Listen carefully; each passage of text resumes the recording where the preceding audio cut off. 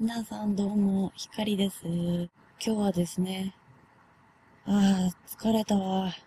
忙しかった。でも決して悪いことではないんですよ。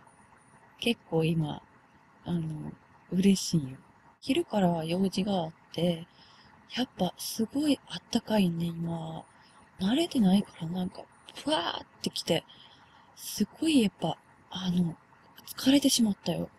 ヒールも履いてね、調子乗って、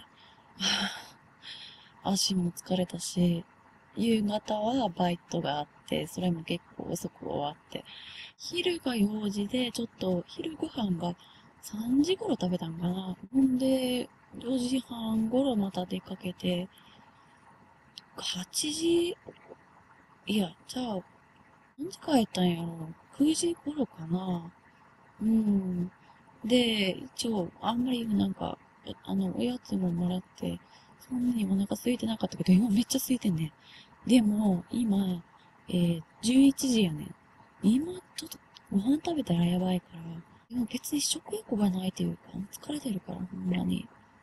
もう、この動画ね、あの、録画終わったら、もうすぐ寝るんで、多分ね、編集明日。あの、明日もアップするんで、今火曜日なんですね。あの、水曜日に、あの、アップする予定やねんけど、まあ、どうしても今、この動画作りたいなと思って、特に話題とかないねんけど、なんか、今日、いいことあったからな。まだちょっと詳しいことは言えないけど、もう、もう3年間の中でいろんな苦労はあったけど、だから特にこの1年間はね、すごい苦労してて、いろんな面で。で、まあそれは自分がアホやから、そうなったやろうと思うけど、だがその苦労が、これから少しずつ、あの、消えていくのかなと思って。今、割と幸せというか、ものすごい気分いいんです。